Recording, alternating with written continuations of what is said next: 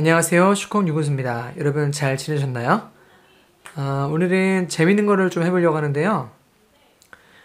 어, 여태까지 우리가 이제 알고 있는 스케일이 어, 다섯 개 블록을 대부분 알고 계시죠? 어, 첫 번째는 이제 5번, 3번에 이렇게 있을 때 이렇게 가는 diatonic 스케일 3번과 1번에 이렇게 있을 때 G 포지션 다이어트리 스케일 그다음에 6번과 4번 1번에 으뜸음이 있을 때 이렇게 가는 거 알고 계시고 4번과 2번에 으뜸음이 있을 때 2번과 5번에 으뜸음이 있을 때는 이렇게 기본적으로 다섯 개를 알고 있으시거든요. 어, 근데 이게 좀 단점이 좀 있죠. 보통 이 블럭과 블럭 간의 연결을 할 때 우리가 보통 많이 얘기하는 부분이 뭐냐면 이렇게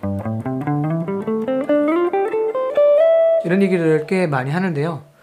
그런데 이제 기타를 좀 오래 치다 보면은 어, 어떤 블럭과 블럭 간에 이동할 때 그 요령이라기보다는 자연스럽게 그렇게 되어지는 게 생기거든요. 나중에.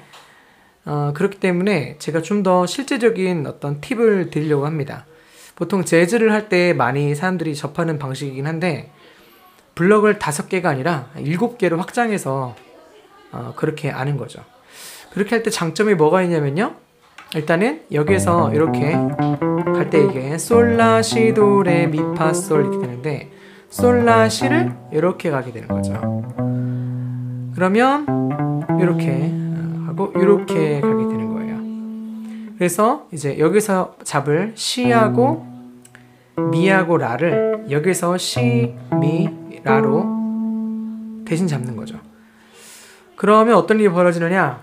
A 블럭에서 A 포지션에서 했던 솔로가 G 포지션과 함께 겹치게 되죠. 네, 그렇게 해서 스케일이 섞이게 됩니다. 그러니까 우리가 알고 있는 것처럼 이거를 하고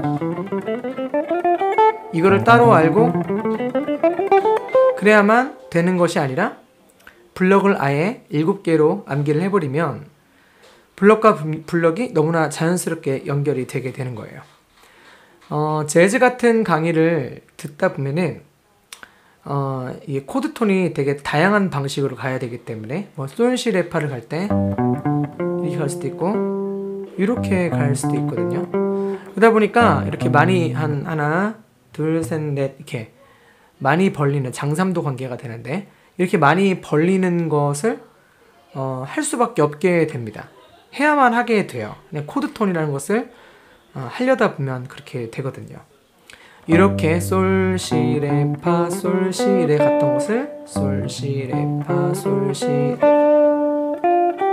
뭐 이렇게 옆과 옆을 어, 연결해서 넓게 벌리는 걸 할 수밖에 없게 돼요. 그래야 다양하게 이렇게 대응이 되거든요.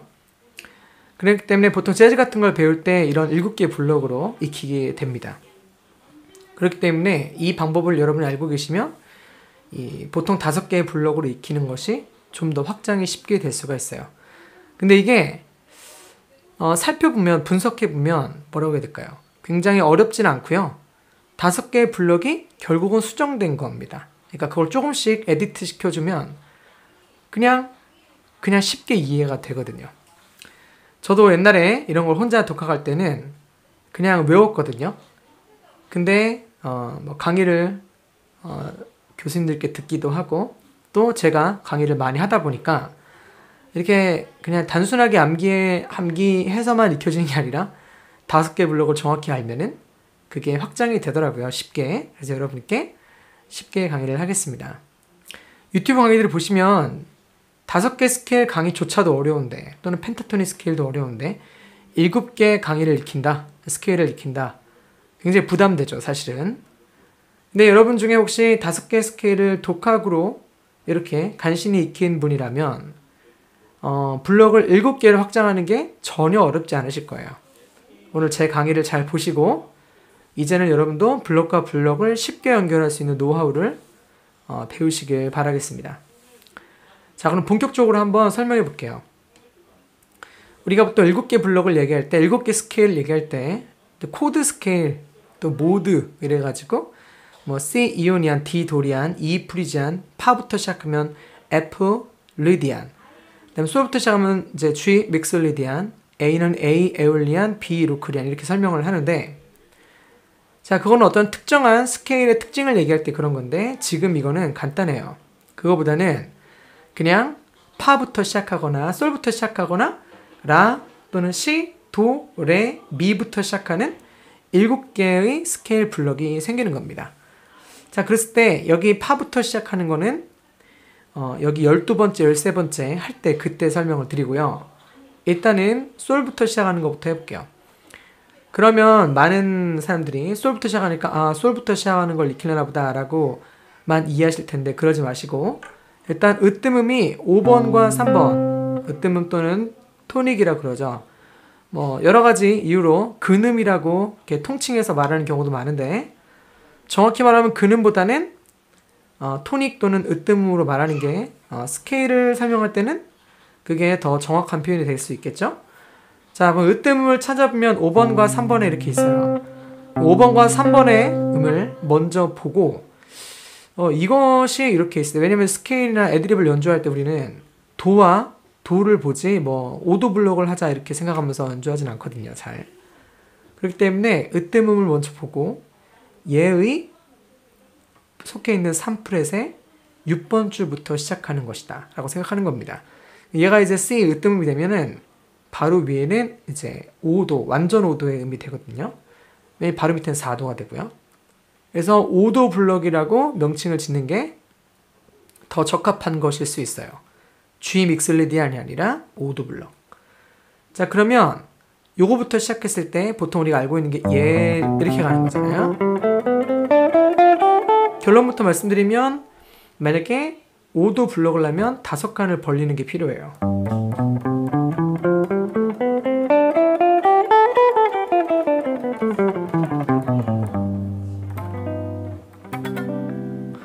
그러니까 이렇게 다섯 칸을 벌리는 게 필요한데 이거는 사실은 어 무슨 새로운 세계에서 있는 게 아니라 요 G, A 포지션이 변형된 거란 말입니다. 그러니까 A 포지션 알고 있으면 이 5도 블록은 쉽게 익혀지게 됩니다. 자, 어, 규칙은 어, 이 으뜸이 속해 있는 곳에 그 부분부터 3프렛부터 또 시작하는 여기부터 집게 손가락으로 무조건 시작하는 거예요. 그 인덱스 핑거로. 그리고 우리가 지켜야 될 것은 뭐냐면 여기 3프렛보다 직전을 누르지 않는 거죠. 안 누릅니다. 그러니까 여기 B, E, A를 누르지 않고 B, E, A에서 해결해 주는 거예요. 그러면 한 번도 접해보지 못했던 손을 많이 벌리는 것을 하게 되죠. 그래서 검지, 중지, 새끼지로 벌리는 거예요. 되게 간단한 게요. 벌리는 걸 세 번 하시면 돼요. 왜냐면 여기 5번, 4번, 3번에 서 있는 시, 미, 라를 그 직전에 해결해 줘야 되다 보니까 6번 줄에서 시, 미, 라를 누리게 되는 겁니다. 그러니까 이렇게 되겠죠?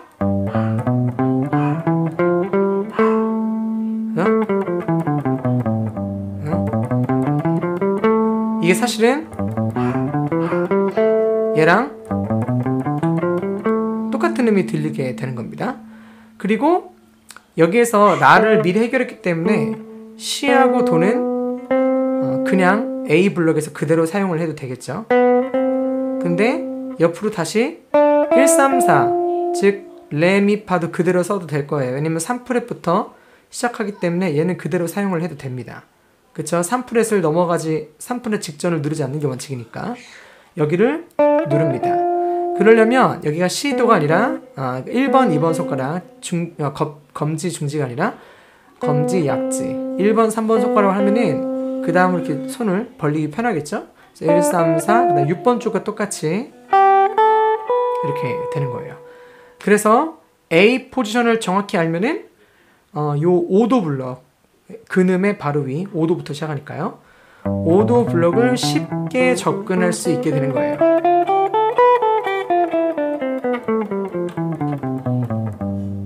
그리고 경우에 따라서는 다시 일반적인 A 포지션으로 가되 필요하면 다시 오도 블럭을 갈 수도 있고요.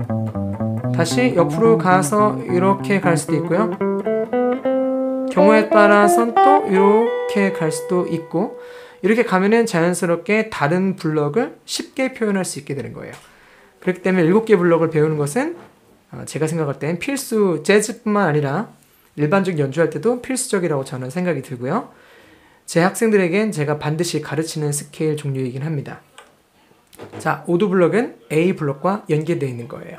자, 다시 한번 보여드리면요. 이렇게 A 1, 2, 4, 1, 3, 4, 1, 3, 4 이렇게 했다면 요번에는 집게 손가락으로 끝내서 이렇게 갈 수 있겠죠.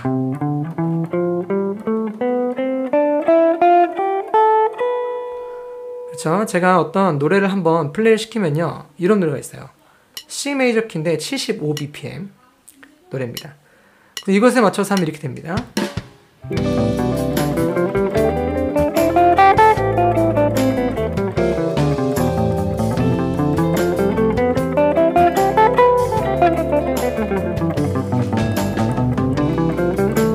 필요에 따라서 이렇게 가고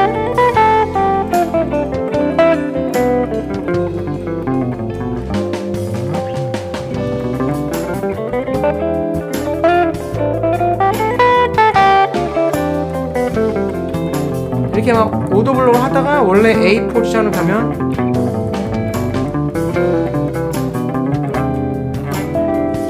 이렇게 연주하게 되는 거죠. 그렇기 때문에 블럭을 두 개 알고 있으면 자연스럽게 옆에가 그 G 블럭이죠. 그 옆에는 막 너무 자연스럽게 연결이 되어 버립니다. 제가 볼 때는 지금 이 강의 굉장히 중요한 강인데 아, 끝까지 보시는 분이 아마 10명 중에 한두 명, 세 명밖에 없을 수도 있어요.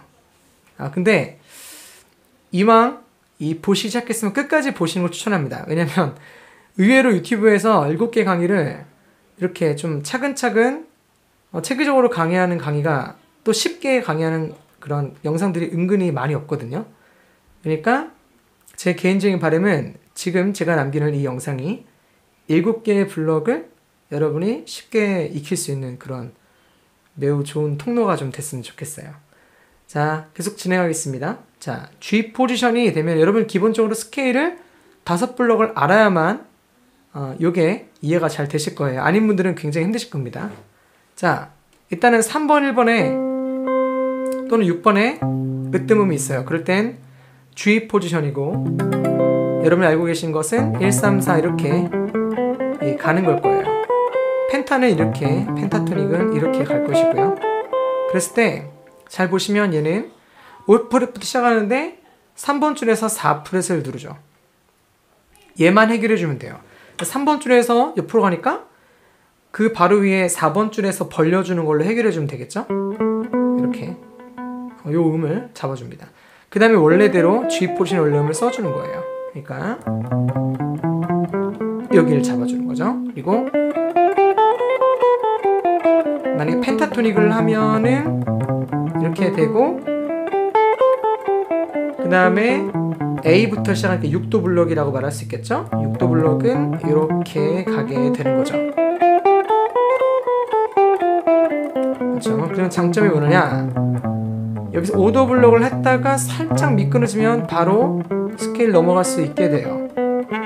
그렇죠? 다시 또 이렇게 갈 수도 있고 이렇게 갈 수도 있고요.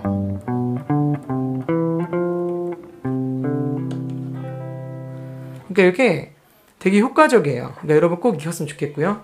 자, A 포지션 5도 블럭, G 포지션 6도 블럭을 정리했어요. 자, 그 다음에 우리가 알고 있는 게 뭐냐면 요 7도 블럭, 흔히들 우리가 말하는 E 포지션이거든요. 왜 E 포지션이냐? 6번과 4번의 으뜸이 있는데 얘를 이렇게 잡고 E 코드 shape를 닮았잖아요. 그 E 포지션이 되는 거예요. 그럴 때는 직전부터 1, 2, 4, 1, 2, 4, 1, 3, 4, 1, 3, 4, 2, 4, 1, 2, 4 이렇게 하게 되거든요. 그럴 때 얘는 E 포지션이기도 하지만 B부터 시작했기 때문에 7도 블럭이라고 말할 수도 있어요. 그쵸? 그러니까 여러분은 5도 블럭과 6도 블럭과 7도 블럭까지 E 포지션임에도 불구하고 7도 블럭은 자동적으로 그냥 알게 되는 거죠. 자, 이렇게. 자, 그렇다면 7도 블럭 말고 여기 7도 바로 옆에 8도, 즉 1도 블럭이 될 수 있겠죠? 1도 블럭이라는 걸 새로 익혀볼 거예요. 자, 그러면 얘는 정리해 볼까요? 1, 2, 4, 1, 2, 4, 1, 3, 4, 1, 3, 4. 8프렛부터 시작하면 7프렛을 누르는 것을 즉 어디요? 어, 5번, 4번, 3번 또는 1번에서 누르는 것을 각각 6번, 5번, 4번, 그 다음 2번에서 해결을 해줘야 돼요. 그래야지 되는 거죠. 그럼 어떻게 하면 되느냐? 해결해 주는 것을 간단하게 생각하세요. 그냥 많이 벌려주면 되거든요.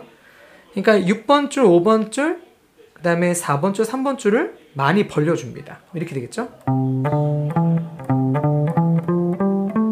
아, 4번, 3번이 아니라 6번, 5번, 4번만 벌려줘야 되겠죠? 그러니까 여기, 여기, 여기가 여기, 여기, 여기에서 잡을 걸? 12번째 6번, 5번, 4번에서 대신 잡는 거예요. 그러면 이렇게 이런 식으로 될 겁니다. 그쵸? 그 다음에 어, 미, 파를 눌렀어요. 그 다음에는 소를 그냥 해도 되겠죠. 왜냐 이 포지션에서 있을 때 여기를 눌렀었기 때문에 8프렛부터 시작했을 때는 그 놈을 그 솔이라는 음을 그대로 사용해도 되게 되죠. 그래서 1, 3, 5 그러니까 벌리고 벌리고 1, 2, 4까지 해서 한 다음에 1, 2만 누르고 1, 3, 5, 1, 3, 5 해주면 되는 겁니다. 그러니까 1, 2보다는 1, 3으로 하는 게 좋겠죠? 그럼 옆으로 이렇게 찍기 편하니까. 그래서 정리하자면 1, 3, 5, 1, 3, 5, 1, 2, 4, 1, 3 1, 3, 5, 1, 3, 5 그러면 해주면 1도 블럭이 완성이 되는 거예요. 자 그러면 얘가 좀 더 쉽게 가는 방법이 있어요. 자 7도 블럭이 즉 이 포지션이 변형된 것이기 때문에 어, 이 포지션 특징이 어때요? 이거랑 모양이 똑같아요. 그렇죠? 1, 2, 4, 1, 2, 4, 1, 3 얘도 똑같 얘도 똑같다는 거죠. 1, 3, 5, 1, 3, 5 벌리고 편의상 1, 3, 5라고 제가 설명을 드리는 거예요. 해주고 1, 2, 4, 1, 2, 4 똑같이 하시고 그 다음에 2, 4 그쵸? 7도 블록에서도 2, 4 이렇게 누르잖아요. 똑같이 2, 4고 그다음에 벌리고 그 똑같아지겠죠? 다시 한번 똑같이 똑같이 2, 4 이렇게 좀 쉽게 될 수 있어요. 자, 그래서 7도 블록을 치고 1도 블록을 할 거면 이렇게 하면 되겠죠. 다시 또 다시 또 갈 수도 있겠죠? 이렇게 옆으로 갈 수도 있어요. 이렇게 이렇게 옆으로 갈 수 있거든요. 그랬을 때 제가 쉽게 설명하는 방식은 135, 135, 124, 124, 24 이게 쉬운 방식이고 정석은 하고 이렇게 해주면 되겠죠. 자, 그 다음에 어, D 포지션 해볼게요. 자, 4번, 2번을 이렇게 으뜸 있을 때 얘는 이렇게 D shape 블럭이 되겠죠. 그럴 때는 여러분이 아시는 것처럼 1, 3, 4, 1, 4, 1, 2, 4, 1, 2, 4, 1, 3, 4, 1, 3, 4, 3, 1 이렇게 되거든요. 그랬을 때 여기 B와 E를 여기에서 대신 잡는 거예요. 그럼 어떻게 하면 될까요? 5번, 4번에서 벌려주는 거죠. 이렇게. 그죠? 그러니까 얘랑 얘를 여기서 대신 잡으면 하고 벌리고 벌리고 1, 3, 1, 3, 4, 1, 3, 4,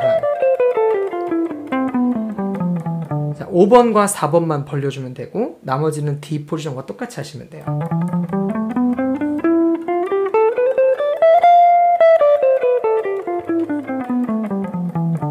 이도 블록이 되겠죠? 자, 맨 마지막 여기 3도 블록을 해볼 건데요. 3도 블록이 곧 C 포지션이죠. 사실은 C 포지션이에요. 그럴 때 여러분은 1, 2, 4, 1, 3, 4, 1, 3, 4 이렇게 하는 거라고 이미 알고 계시고 얘는 얘랑 사실은 똑같죠? 이거를 어, 여기 이렇게 옮겨서 12번째에서 표현을 한 거죠. 자, 얘는 그대로 하면 돼요. 그러니까 C 포지션이 자동적으로 3도 블럭이 되게 되는 거예요. 그러니까 지금까지는 5도, 6도, 7도, 1도, 2도, 3도까지 하게 된 거죠. 4도 블럭만 하시면 돼요. 자, 얘는 좀 공교로운 게, 좀 어려운 게 12번째를 다 한 번씩 누르고 간단 말이에요. 그렇죠? 그럼 어떻게 해줘야 돼요? 어, 13번째부터 시작해서 1, 어, 4도로 만들어줄 때는 어, 5번, 그러니까 6번, 5번, 4번, 3번, 2번을 전부 다 벌려줘야겠죠. 예, 그렇죠? 근데 막상 이게 할만해요. 왜냐면 6번 줄만 벌려주고 5번부터 3번 줄까지는 그냥 A 블록과 똑같이 해주면 돼요. 여기까지. 원래 여기까지 가야 되지만 이걸 안 가고 여기까지만. 예. 1, 2, 4, 1, 2, 4, 1, 3 해주면 A 블록과 겹치죠? 즉 4도 블록은 A 블록과 3번 줄까지 비스무리하게 가고 그 다음에 벌리는 걸 두 번 하시면 돼요. 하고 이렇게 할 수 있는 거죠. 그래서 정리를 제가 해드리면 이렇게 돼요. 자, 자 75bpm 다다다다로 갈게요. 시, 시작 A 포지션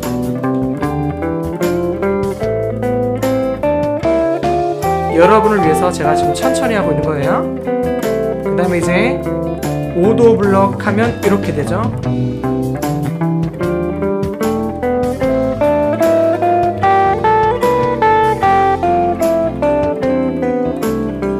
그 다음에 G 포지션은 이렇게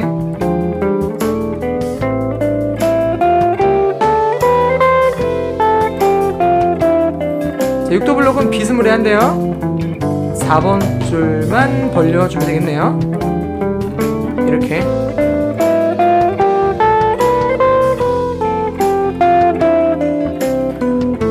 그 다음에 이제 7도 블록 갑니다. 이 포지션이죠? 자, 이 포지션. 자 7도 끝났으면 여러분은 이제는 1도 블록을 할 수 있겠죠? 옆으로 싹 가서 1, 3을 똑같이 해주고 1, 2, 4더 해주고 쉬운 방식으로 하면 이렇게 되고요 자 정석으로 한번 더 보여줄게요 일단 어떻게 해야 돼요? 벌리는 거 두 번 하시고 1, 1, 2, 4 똑같이 하고 1, 3 해주고 벌리는 거 두 번 이게 정석이 되겠죠?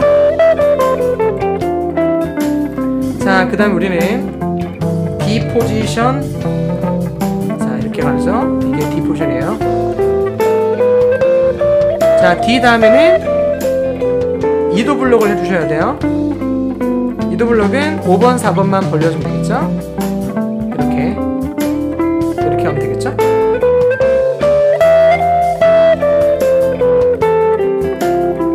자, 그 다음에는 2 포지션, 즉 3도 블록이 되겠죠?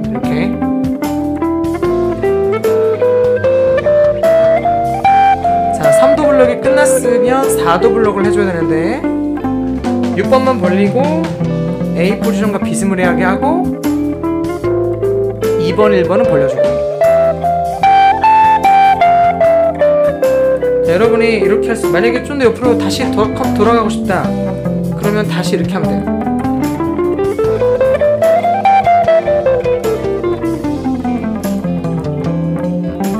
이렇게 하면 이제 다시 돌아가죠? 2도 블럭 D 포지션. 그 다음에 1도 블럭 갑니다. 이렇게 되죠? 자 7도 블럭 가면은 이렇게 갈 것이고.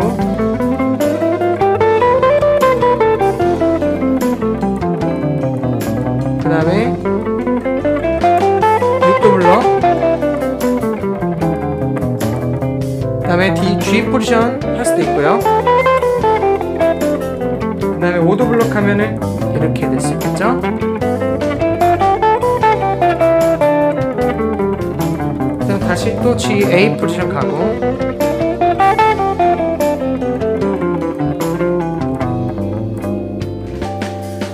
자 이게 영상으로 보시면 약간 뭐랄까요? 약간 어렵게 느낄 수도 있는데 막상 저에게 차근차근 설명을 들으시면 어, 생각보다 이제 이해를 하면 쉬워요. 단순하게 암기하려면 기타가 어려운 게 되게 많거든요.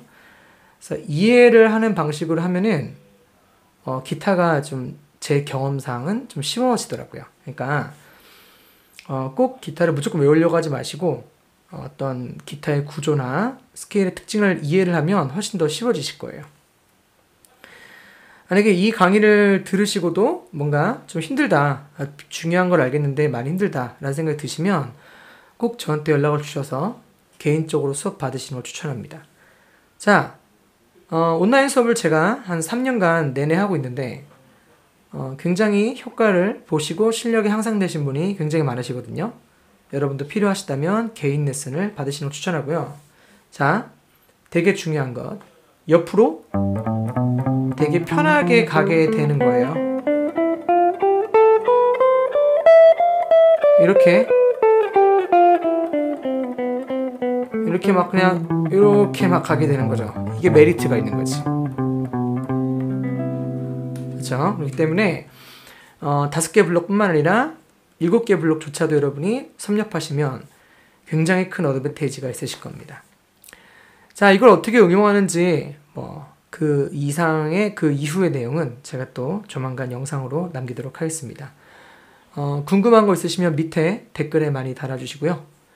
마음에 드셨다면 도움이 되셨다면 좋아요, 구독 꼭 눌러주시길 바랄게요.